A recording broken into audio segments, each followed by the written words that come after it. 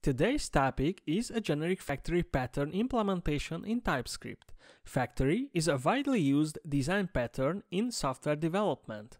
It's quite useful if you have multiple items connected somehow. There are two main components, the items, what factory makes, and the factory itself. Let me show you an example in TypeScript. Let's assume we have to make a couple of custom errors. I face this task in a daily basis, so it's going to be a good example. Just create some errors. I usually extend my errors from the built-in error class if I'm in the Node.js ecosystem. Class order error extends error. I don't need to have any special logic here, so move on to the next one. Class user error extends error add a constructor with message string and call the parents constructor with the custom message, a user error occurred and the message. It's a good pattern to merge your custom parameter values with the built-in message parameter comes from error class. The next one should be delete item error extends error. In this, make a constructor with more than one parameter like message, string, page, string, roles, array of strings. And just like in the previous case, call this super function with a custom text and all of the parameters we have. Message, page, and roles. Okay, that's enough to understand the pattern, I hope. These are the items what factory produces. Now take a look at the factory. It could be a generic function, can create any kind of errors by its type. Function create error uses e extends error. It's important because I don't want to allow any types to be the parameter, just types which is extending error type. Error, and here comes the black magic, constructor type e, and args array at the end of the parameter list. The return type should be E and the body is an instance creation. Return new error with arguments. The constructor type is also a new type, so type constructor type with the generic parameter t is new args with the parameter any array and a t as a return type.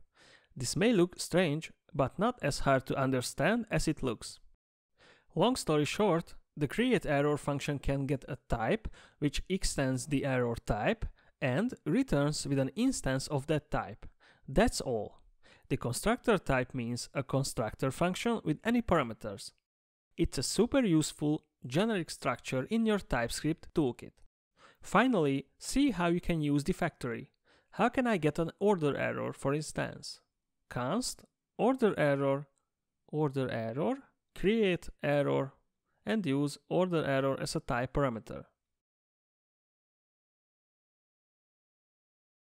As you can see, I only need the error type as a parameter. Super easy, super straightforward. What about user error? const user error, user error, create error, and again, just use the user error type as a parameter.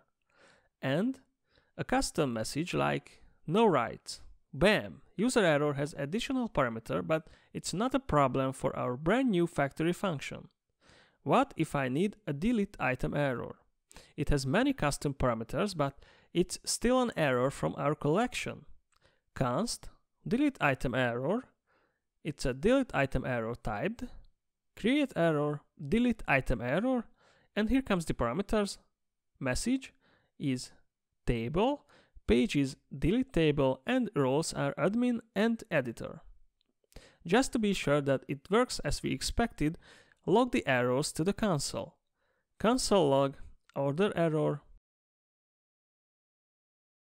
console log user error, and console log delete item error.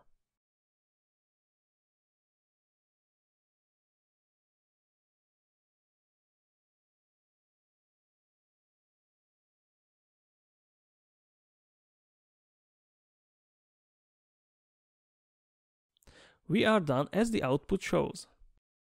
By the way, when you write any TypeScript code, you should always check what it's compiled to. Since TypeScript cannot run alone, the compiler will definitely turn it into some kind of JavaScript before it starts. The end result depends on your TypeScript configuration.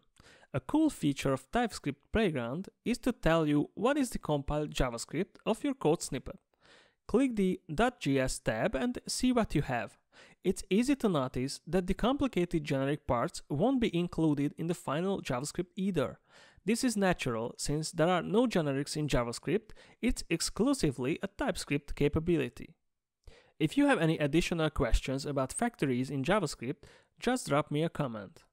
Thank you for watching and see you soon.